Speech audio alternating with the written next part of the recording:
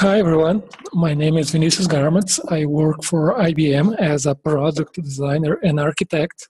And today we are going to talk about uh, a new functionality in Maximo called inspections. It's not really something new, it is available since release 7608, but it was fully enhanced in 7609 to expand the integration with other existing Maximo functionalities. Uh, before we start, let's set up the stage and talk what is actually inspections. So each company uh, might have some different flavor of inspections from uh, condition assessments to audits to investigations to a simple checklist that they need to to do as part of their activities.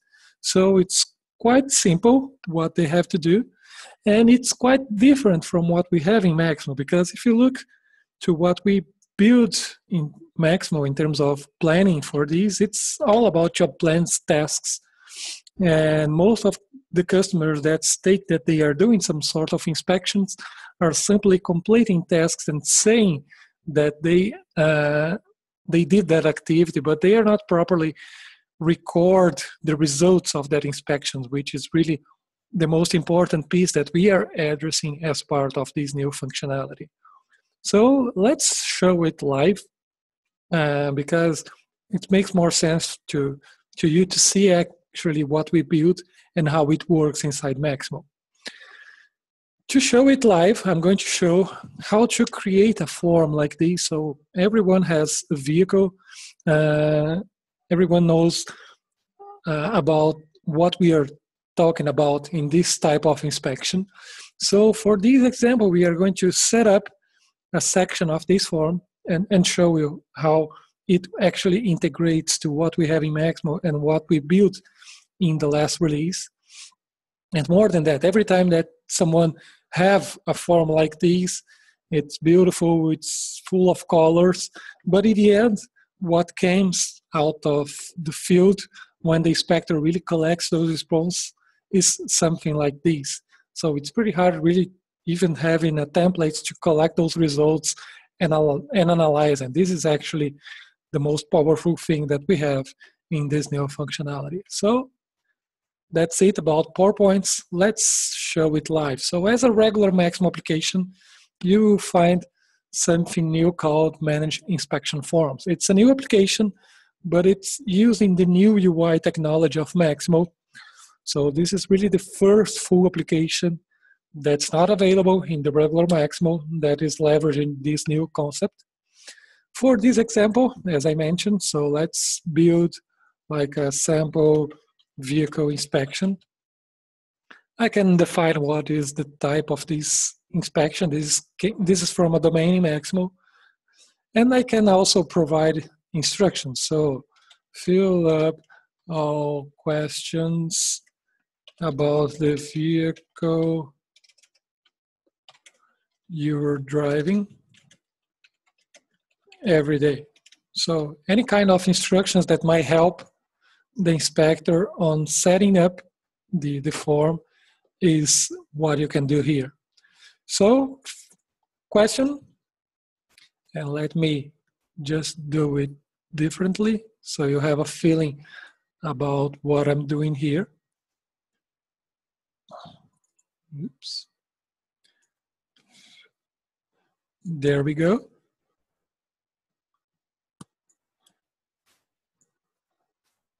This is the form. So let's set up this interior exterior section. So the first question that we have is exterior body. So let's set this question here. And the responses that we are expecting are in fact three options. Check that okay, may require attention, or require immediate attention. So for these we call a single choice. So select one valid response. And the options are checked and okay. Second option is my require attention. And the third option might be requires immediate attention.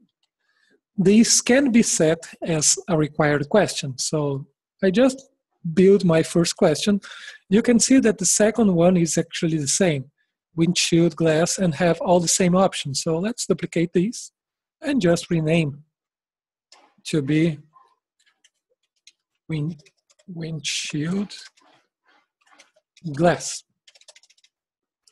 And I can keep doing the same for the other ones. The third one would be wipers. And if you notice that these set of questions are part of the same group.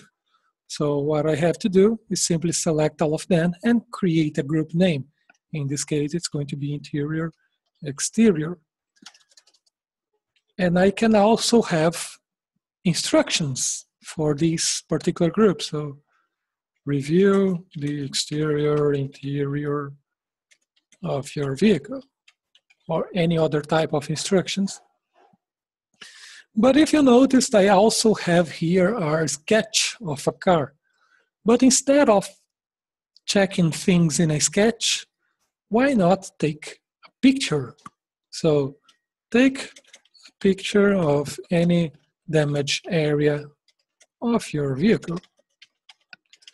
And for this, and this is actually new in 7609, you can define a file upload, which is actually an attachment in Maximo.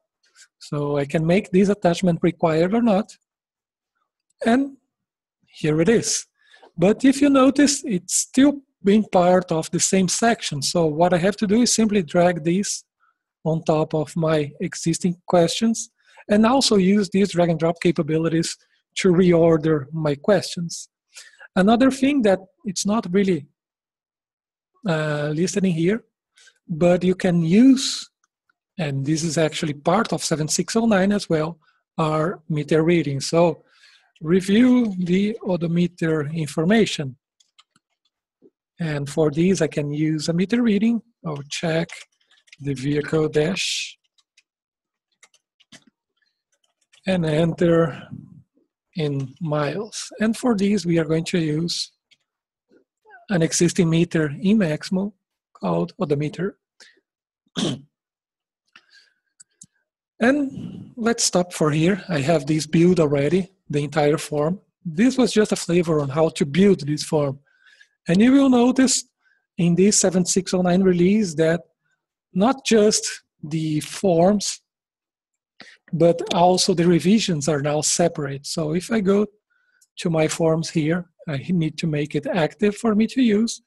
But if I go to an existing form, you see that all the revisions are now together at the same window.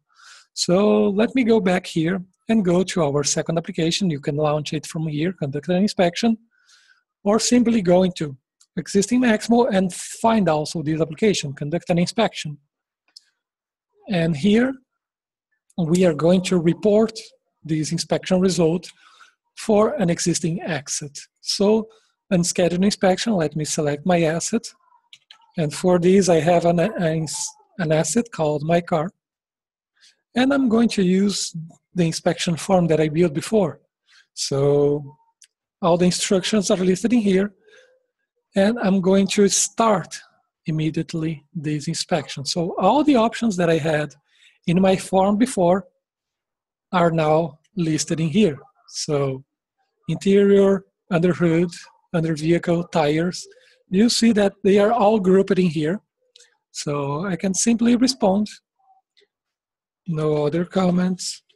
I can send an attachment and if I'm in a tablet device, uh, this will actually open the camera of my device so it's quite easy for the inspector to add a picture to my inspection results. So let's see what else is required. So I checked my oil. I checked also my oil color, which was another meter reading, brake fluid, and then the mileage of my vehicle, 3,000 miles. Once I respond all the required questions, I can complete. I can create work orders for follow-up actions. And more than that, in this 7609 release, you will be able to see that these inspection capabilities are fully integrated in Maximo in other Maximo modules. So let's take a look on assets application. If I go to my manage meter readings history, you will see that my last meter reading was entered in here. All the characteristic meters were also collected as part of these inspection results. More than that, both assets and locations applications share a common dialog to view work details. So I can have now an inspection tab that is going to list all existing inspections in my asset. So I can use the regular go-to menu to open a particular um, inspection record and depending on its status it's going to open for me to respond or if it's completed it's going to open for me to visualize those results and see actually how they were by the time I responded that particular inspection. More than that, I have all, uh, actions that I can take from creating a work order or depending on which asset or location or work order that this inspection is associated to, I can use these menus to open that particular application. More than that, in my regular asset application, I have the option now to create an unscheduled inspection. So I have a drop down here. I can select my form. I can also provide a due date for this inspection. And now I have a pending inspections associated to this particular asset. So if I go back, oops, to my view work details, inspections, now I have a new pending inspections that I can go there and really report these inspection results. so this is all we've built really about building an inspection form, being able to create inspections for both assets and locations, and also from the regular Maximo applications, launch these inspection results and report them. More than that, now we have really the ability to plan for a particular inspection the way that we have really to plan standard plans in Maximo are using job plans. So I set up here a job plan, and as part of this job plan, I did the same. I set up one inspection form in this particular inspection. More than that, in the test level, I also have the same capability to associate an inspection form to a task. In other words, everything in Maximo that consumes job plans, from routes to condition monitoring to PMs, I can I can use job plans with inspection forms to create a work order. in this example, I have here I have here Hold on a second. I have here uh, an associated inspection form. And checking the regular frequency, I have 30 days. I can have a meter frequency. I still have in 2000 units to go. And I can generate a work order. So in this case, I'm going to ignore the frequency criteria and I'm going to create inspection uh, work orders for these inspections for the next 90 days. By the time I'm going to create these work orders, it's going to use this job plan and will associate an inspection form to my work order. So let's go to the existing work order tracking application. And this same capability is also available in other work centers work execution, work supervision, you have the ability to open them uh, using the same capability. And remember that my job plan had this inspection form associated. So the same capability that I did in the assets application I have here to go to my inspection result application and really report these inspection results, which is associated to this work order.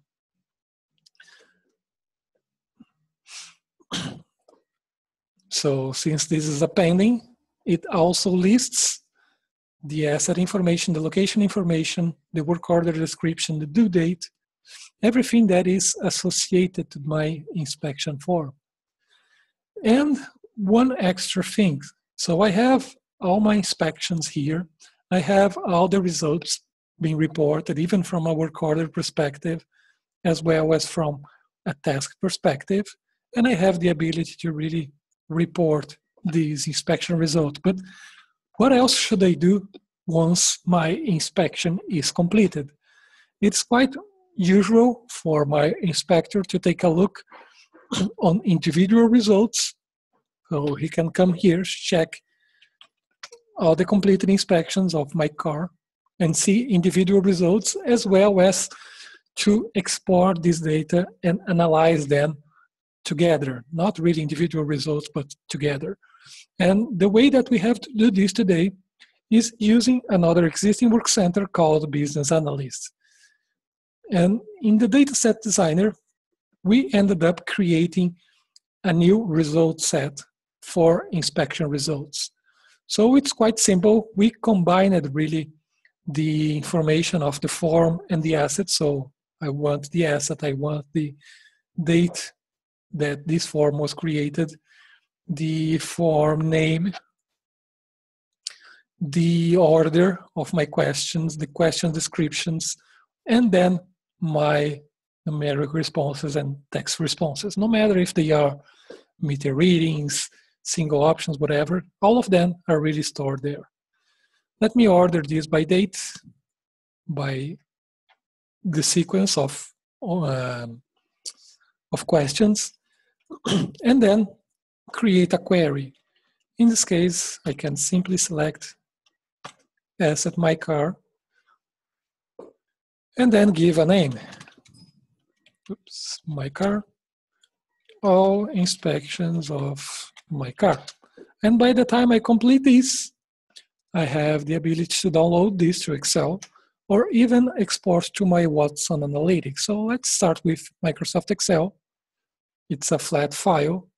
All I have to do is simply ex export these and put the data in, in, in, in column mode. Quite simple. And then start building my charts. So if I look to a previous example that I did here, I can start checking data uh, based on information responded over my previous inspections. So this is just a, a, a pivot table with a chart. The same here, but with a, a linear chart to see temperature and other information. And the same is also available with Watson Analytics. so you can entitle for Watson Analytics uh, and export the data directly to Watson and start having different insights from the temperature, battery charge, oil color, and things like this. So this was really an overview about what we built in terms of inspection capabilities, what you can do using our latest 7609 release. And at any time, any feedback you might have, just let me know, send me an email, and I'll be glad to help you. That's what I have for today. Thank you very much. And at any time, just send me an email. We can have a meeting. We can talk more about these. And I'll be pretty glad to help you. Thank you very much. You'll be touched soon. Bye bye.